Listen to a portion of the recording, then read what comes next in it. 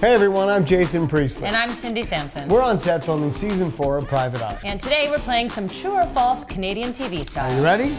Uh, maybe? Here we go.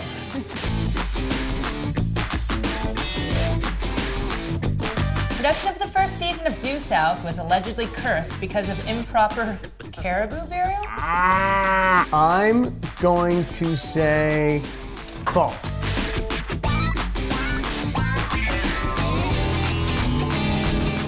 No. What? Only in Canada. Only in Canada. Michael Cera's first acting gig was a Zellers commercial. I'm gonna say true. Me too. Ah, so close. How could we possibly Ah. know?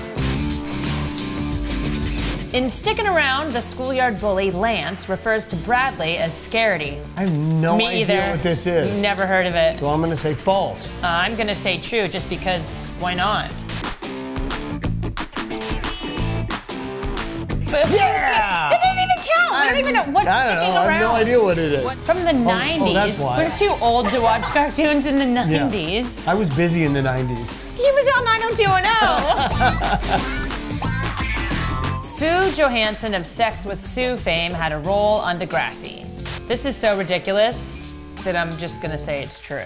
I'm gonna say false.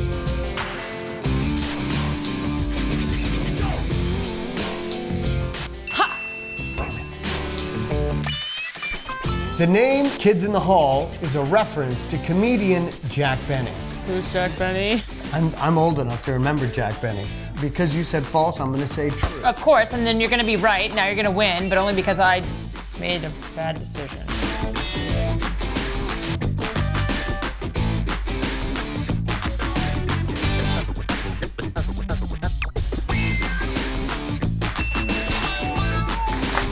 Ridiculous. Jason wins I'm- the I must- stupidest game we've ever played. Congratulations, you know, useless.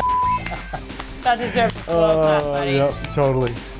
Did you beat our scores? Tell us in the comments below. And don't miss all new episodes of Private Eyes on Global.